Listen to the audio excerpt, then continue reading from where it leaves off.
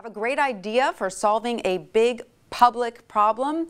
You just might get paid for it, but that is coming up in just a second. We're going to start with dogs and why so many companies think bringing dogs to work might be a good idea. And here to tell us all about it is small business expert Susan Solovic, who joins us to tell us why some companies are going to the dogs. Susan, thanks for being here. That's right, Tanya. Thank you. So is it true that there are companies that actually want you to bring your dog to work? Yes, there are some absolute business benefits to having dogs in the workplace.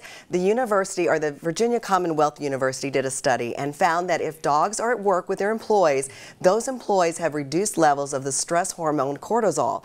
And the CDC found found that dogs in the workplace also reduce blood pressure and cholesterol. So it creates a healthier workplace. Healthier workers have more productivity, which increases your bottom line.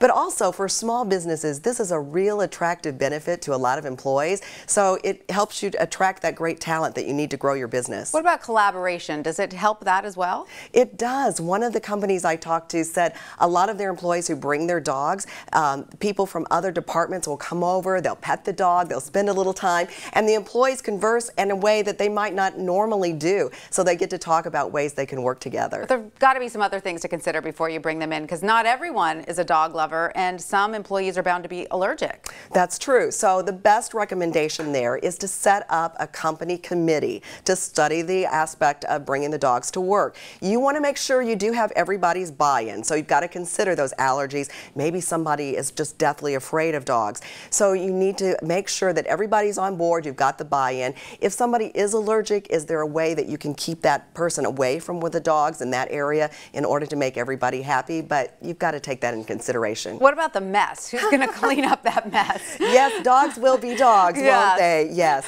So the messes. Well, typically you've got to make sure that employees understand if there's a little accident, they're responsible for cleaning it up. As the employer, though, you need to have those cleaning supplies on hand. And some companies have the three-strike rule, Tanya, which is three strikes and you're out of here. but is there a liability to consider? What if the dog bites another employee? Right. Before anybody brings a pet, uh, whether it's a dog or any kind of a pet, onto the premises, you need to check with your attorney and your insurance carrier to make sure you're covered so you know what the liability is and that you're protected. All right. Certainly would be fun to have a cute little fuzzy oh, one around here. My little dog, Maxwell, he's the chairman of the bone at my company. oh, that's so cute. Next yes, time you should bring him along I with will, you. I will bring him. He'd love you. Thank you so much for All that, right, Susan.